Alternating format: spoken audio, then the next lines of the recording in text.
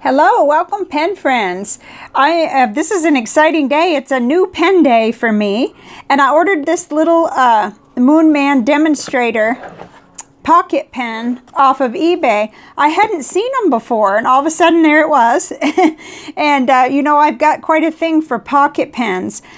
but I tried to find out more about this before I ordered it, thinking there'd be reviews or people showing it, and I just couldn't find anything. But it won't be long because I can see that the seller that I bought this from has already sold like 79 of them, so it won't be long. But I thought I would just uh, share with you the uh, looking at this, opening it, and inking it up because it's it's kind of exciting. um, it actually, I ordered it on the 13th of May, 2021, and it arrived today, May 28th. So that's like 15 days. It didn't really take that long. From China. Um, interestingly, though, let's take a look at the packaging real quick. Uh, okay, it was packaged very well. The box was inside all of this uh, really thick amount of bubble wrap.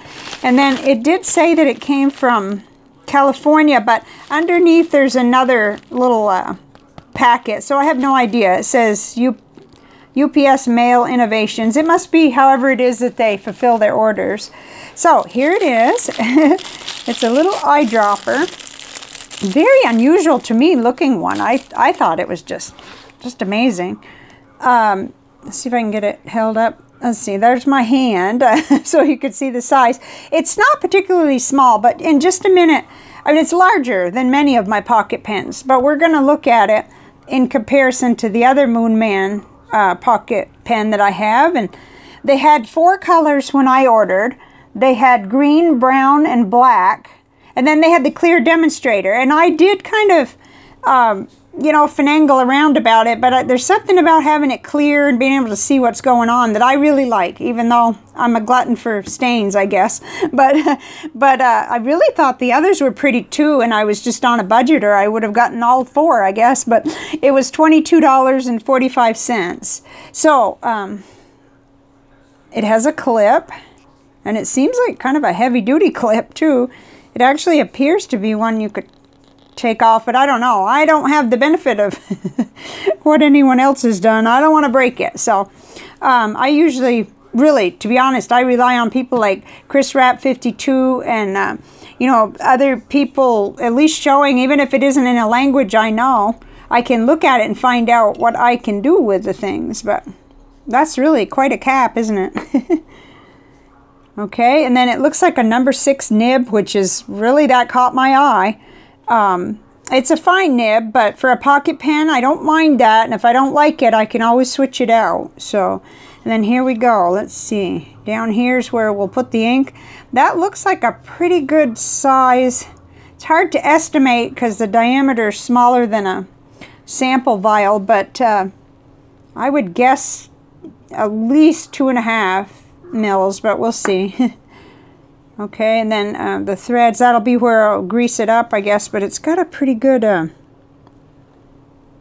little, I guess you'd call that a gasket. I don't know, that's nice. That's quite nice. Hmm. And it's a real thick end. You're seeing this with me, really. So that's why it's taking so long. I don't mean to. Um, I was trying to figure out what this is all about. It seems to be decoration, though, because there's there's no uh, special threading for posting and I hate to scratch it so I don't know. Hmm. can put it on there but yeah I just don't want to scratch it. I'm a chicken. And uh, my hand is okay to write with this without posting it so it's an unusual little pen. But let's go ahead uh, well, first, it came with some papers, but I opened these papers, and they sure didn't look like the pen we're, we've got at all. So they're they're just a paper. Doesn't do us a whole lot of good. And then it did come with a little eyedropper, which is nice. That's a nice one. We might uh, we might use that. Okay, so let's go ahead and compare it to a few other pocket pens because I think that would be useful. I'm going to make it a little closer just to try to help us. Okay, so uh, this is the one I use all the time. This is the Moonman Mini Wancai. So that'll give you a, we'll begin to get an idea of the size. Got Got a couple of those, but I guess just one is fine. Uh, then this is a little uh, Stipula Passaporto. Okay, and we'll put that there. It'll probably roll around because it doesn't have much keeping it there. Um, this is a TWSBI Mini. We'll try to put that on this side. Much more slender. You can see that you've got a lot of girth, a lot of interest there. Uh, a Kaweco uh, Sport, Ice Sport in blue. Let's see, I think that's we've just about exceeded our the right hand side there where we could put things. Um, this is a little Laban um, Expressions, and that's a, another thin one too, but it's it's a comparable height, I think. But it's much slimmer. And then, well, these aren't really fair because these are all, met well, metal and plastic.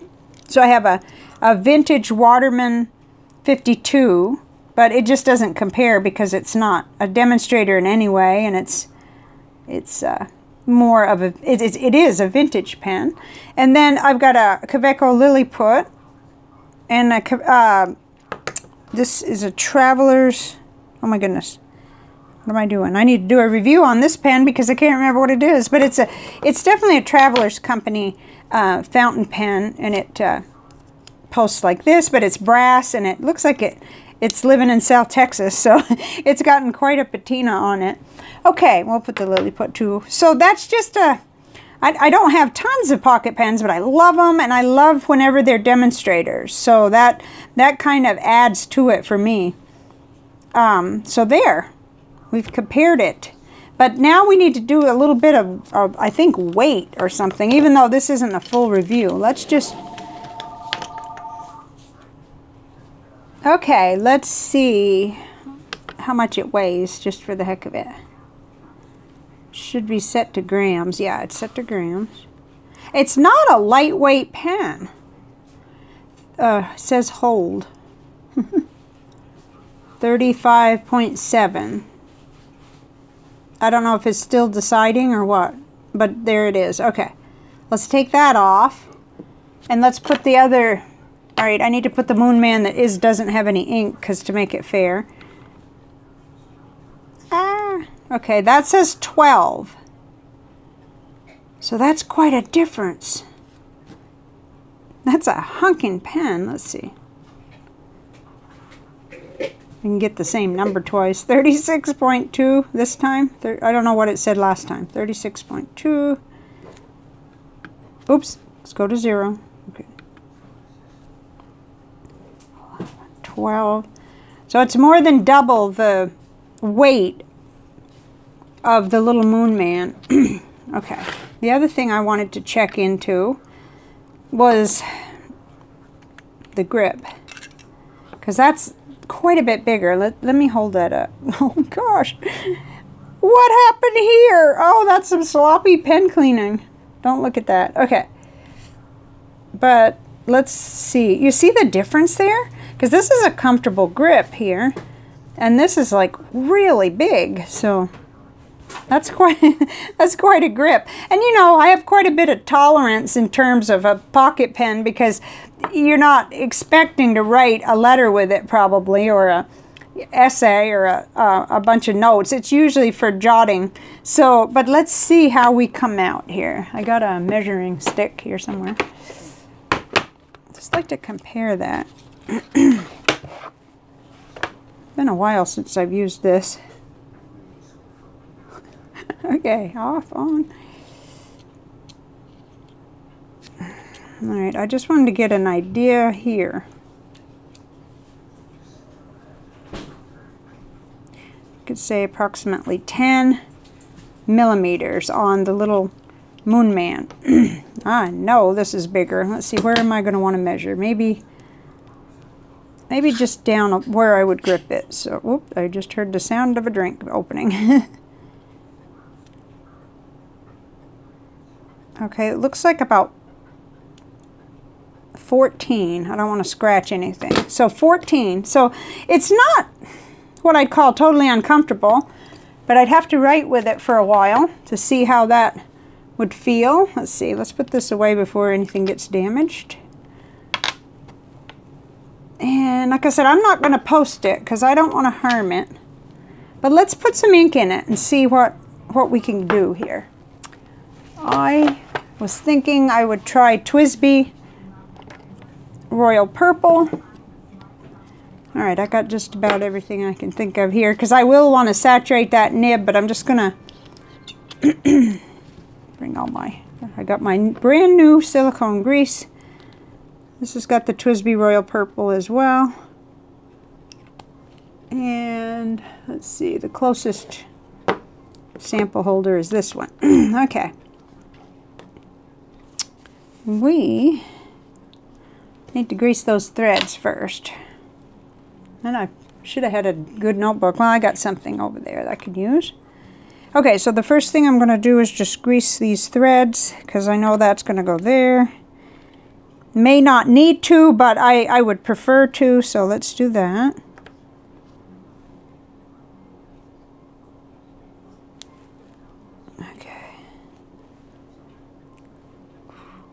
So big. I should have used my pinky. I think that would fit there better. Jeez, oh man.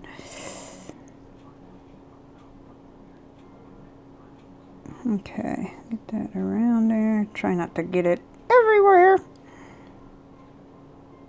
That's always fun. Yeah, I could see I'm going to have to wipe that off a little. Okay. Hmm. Well, that's probably too much. Oh, there's no such thing as too much. Just put it on there. Okay. I got an apron on so I can wipe on that. Okay. Let's just get some ink in here so we can write with it. I can't wait. Might as well try using this, I guess. Oh, no, I don't want to do that. I want to see how much ink I'm putting in. I'll be right back. Okay, I almost started, I came back and almost started doing this without including you guys, and you're here, you're with me, so. Okay, let's see if we can get about three mils in here, something like that. Check and see where we're at there. Well, that's approximately 3 mil. Because I want to know how much this is going to hold, so... Or at least closely. Uh, you know, sort of. Ballpark, I guess. Oh, we got a funny little fruit fly there. Oh, okay. Alright, I don't want to go up too far. And that... That was just about 3 mil. Huh. So it's gonna... Wow, that's pretty good. Alright. Now this looks like an accident waiting to happen. Let's get this pen put back together and then I will wipe off the excess. Oh dear. Got that little annoying gnat or whatever it is there. okay. Yeah. And then I just really need to um, make sure that I wipe. I know I can see a little bit of excess grease and I certainly don't want that on my feet or nib or fingers or anywhere else. Okay. Woohoo! So, TWSBI Royal Purple. It's a very pretty color. All right, so now we've done that. I've already put some over here because this is my little ink miser and I do like to go ahead and saturate the nib. I don't want to sit here and wait for the pen to be ready to write. I don't have that kind of patience on a good day, so okay. Just, you know, this this will saturate the feed and the nib. I probably should have cleaned it, yes, but um, I just like to break rules. Okay, that I'm going to throw away. I'm throwing that away. I'll get another paper towel because I don't have grease on this one. oh, isn't that interesting how that... Well, for heaven's sake. That's threaded. Is that why that's threaded? Remember I was making remarks about... Yeah. Oh, man, that, that's going to make for a mess. Okay. Might want to be real careful in my cleaning because you see how that purple already filled in the, uh, the threads? Oh, gosh. Okay, well, spit, here we come. Um, I want to clean as much of that out as I can because I know where that's going to go. this is not an advertisement, is it? oh, and I did buy this pen with my own money, my pen allowance money. So, oh my gosh, yeah, that's that's interesting. Okay, I got Q-tips here. but before I even do that, I think I better be putting some covers on all this ink before I end up with a purple bath here. Which wouldn't be horrible, but probably make me scream. Okay, ink is closed. I didn't ever use the pretty eyedropper. The grease is put away. I'll clean that later. Okay, maybe.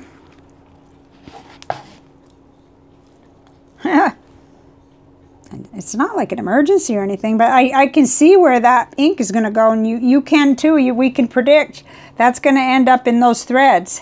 Huh. Very interesting. Maybe become a forever purple pen. Maybe there's some better way to do this, but I'm not getting a lot of that uh, ink out of there. I think we're going to have to live with the purple um, threaded. Yep. Okay, but that's what first impressions are all about, I guess. Okay, let's get some paper, see how it writes. Um, I've got Tomoe River paper in this little um, Kokuyo notebook that came in an ink flight. And I'm going to go ahead and start a new page just to, for the heck of it. Okay, so this is Moon Man. Are you close enough to see what I'm doing? this is awkward video. Okay. Oh, it's smooth. Oh, and you know how I hate feedback and I don't like not smooth and it's just smooth.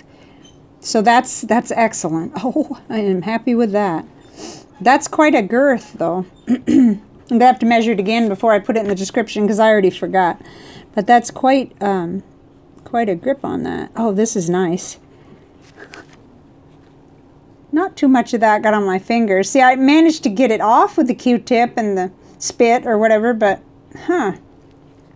I didn't do a real thorough job up here. That's interesting though. I was remarking about the threads. I hate to close it now because I know it's I know that the ink from there probably will transfer onto those little threads that catch that, I guess.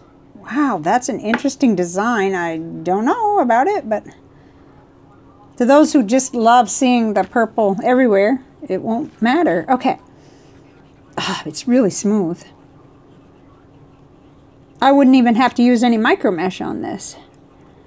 Brown fox jumps